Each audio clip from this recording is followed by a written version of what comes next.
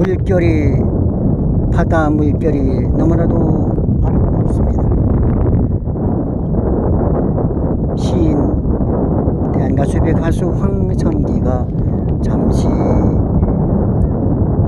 아름답게 친한 물결을 영상에 담아봤습니다. 국민 여러분, 요즘 코로나 바이러스로 얼마나 고생이 많으십니까?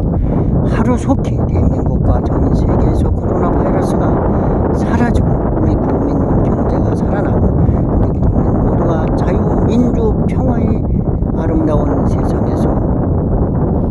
자유를 누리며 부를 누리며 부를 누리며 살아갈 수 있기를 간절히 기원해 드리면서 잠시 영상에 담아봤습니다.